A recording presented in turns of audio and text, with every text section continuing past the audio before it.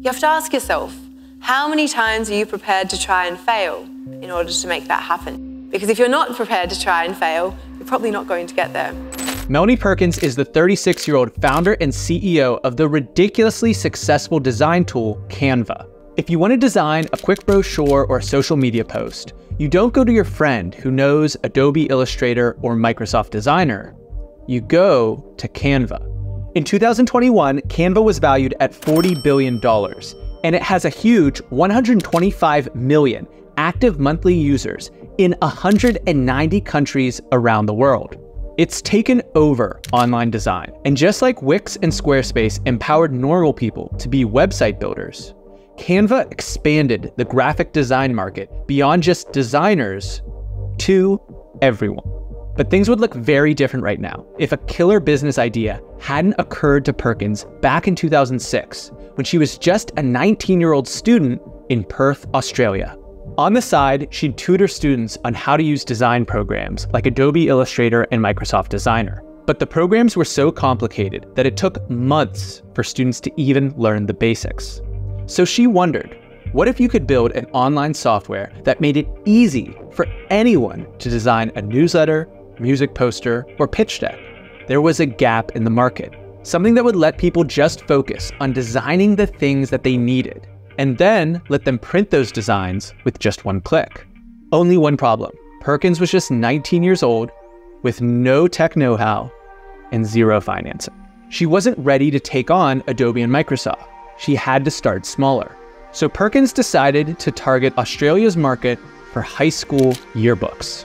See, her mother was a school teacher, so she knew firsthand how much of a grind it was every year for school teachers and volunteer students with no design experience to compile a yearbook just using Word or Publisher. And they weren't even online, so you would have to email files to each other if you wanted to collaborate. Perkins wanted to create a software for designing yearbooks that was millions of miles better than anything else on the market and would prove as a proof of concept for Canva. It'd be online and collaborative like Google Docs, really simple to use, and have beautiful yearbook templates that stressed out teachers could use to just plug and play.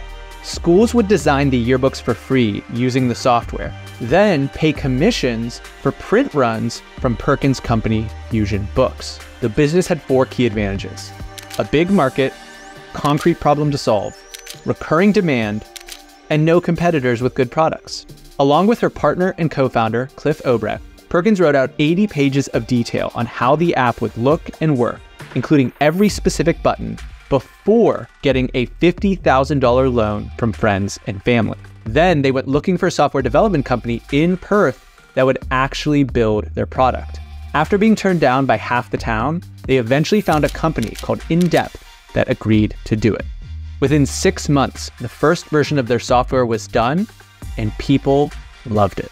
Fusion Books got 16 schools as customers in their first year, and Perkins set up printing presses in her mom's living room to meet the demand. Over the next few years, Fusion grew to become Australia's biggest yearbook publisher, but people kept asking if they could use the software to design other things. There was still a gap in the market for Perkins' Canva idea.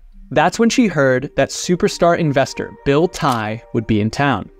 He was judging a startup competition in Perth, and Perkins managed to talk to him for just a couple of minutes about her idea for taking on Adobe and Microsoft. So she made a plan to fly to Silicon Valley for a one hour lunch with Tai, her only contact in the Bay Area, and the man she needed to convince if Canva was going to get any VC money. So I spoke to him for five minutes and said if I went to San Francisco, he'd be happy to meet with me. Perkins turned up for the lunch with a pretty horrific paper pitch deck. Here's one slide from it. And Tai wasn't too impressed. He was very unattentive. He didn't didn't seem to be interested at all. He was on his phone. And I was Oh like, God. oh my God, this is the worst thing ever. I have completely flopped. Turns out, Tai had been putting her in contact with potential investors and collaborators on his phone the whole time, including Lars Rasmussen, the inventor of Google Maps. If Perkins could get Rasmussen to sign off on her tech team, Tai said he would invest. So for the next three months, Perkins crashed on her brother's couch in San Francisco. She attended every conference she possibly could, trying to rustle up more investor interest and find the programmer who would actually build Canva. But the rejections kept piling up. Investors would say, Your headquarters in Australia, that's too far from the Bay. You don't have a Harvard, Stanford, or MIT background. And Rasmussen, the Google Maps creator, kept rejecting all of the engineers that Perkins found. So, no funding from Bill Tai, and tensions were starting to mount back at home. And Fusion Books was a sure thing.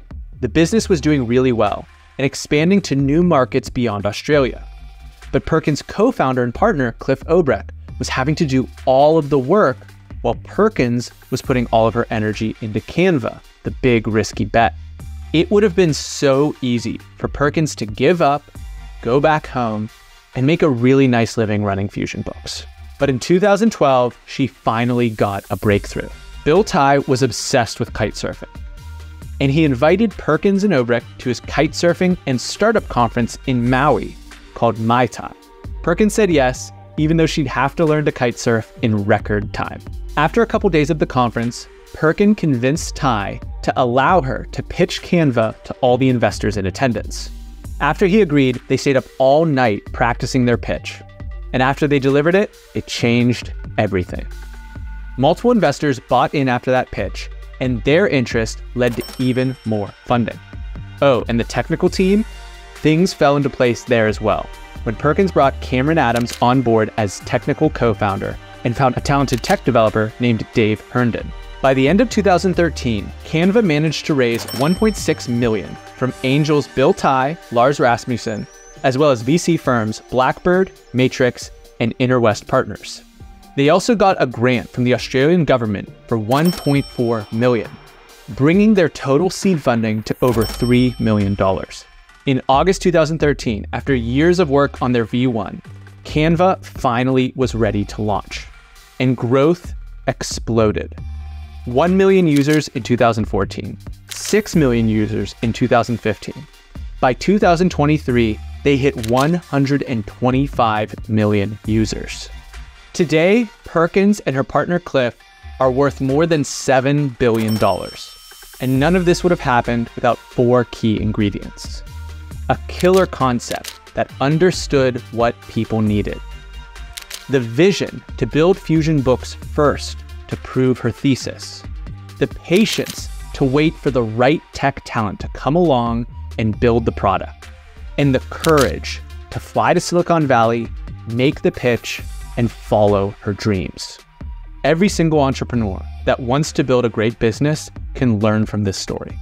And for an even crazier Silicon Valley story, check out this video about how Sam Altman was the mastermind behind OpenAI and ChatGPT.